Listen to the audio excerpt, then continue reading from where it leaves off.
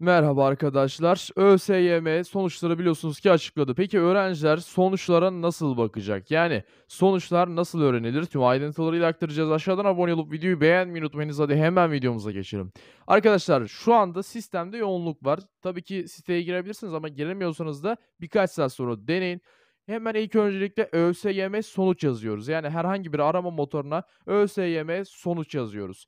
İlk çıkan sonuca bakın ilk çıkan sonuç ösym.gov.tr sonuç çıkıyor zaten. Eee, o ilk çıkana tıklıyoruz. Siz herhangi bir arama motoruna Yandex, Opera, Google fark etmez. ÖSYM sonuç yazdıktan sonra ilk çıkana tıklıyorsunuz ve tıkladıktan sonra, eee, sizlere sonuç adı olarak sonuç adı altında sınav sonuçları açıklanacak. Orada en son açıklanan 2022 Yükseköğretim Kurulları Sınavı YKS sonuçları yazıyor. Oraya TC kimlik numaranızı ve adaylık şifrenizi yazarak sizlerde zaten aday şifresi var. Eee, TC'nizi ve aday şifrenizi yazarak buradan sonuçlarınızı rahatlıkla öğrenebiliyorsunuz. Eee, tabii ki hepinize şimdiden hayırlı olsun diyorum.